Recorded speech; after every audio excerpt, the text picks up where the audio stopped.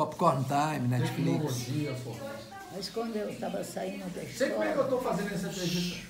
eu sempre ia lá para o palco, falava minhas poesias, gostava muito, o pessoal batia pau. Eu achava ótimo, gostava mesmo, cantava, pintava. Mas depois que acabou tudo, veio uma, uma mocinha falar uma poesia lá.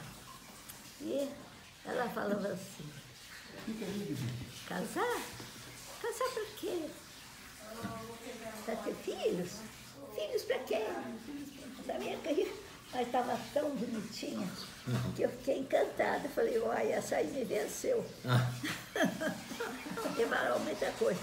Aí quando eu fui saindo da escola, o secretário que estava lá falava assim, mas sério, eu fiquei sabendo que você vai casar? Falei, vou, vou sim.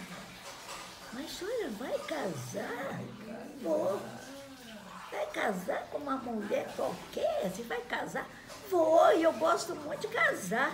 Vou, meu marido é ótimo. Tchau, tá? Nossa, assim. Tchau. Ele falou que ia ter muitos filhos.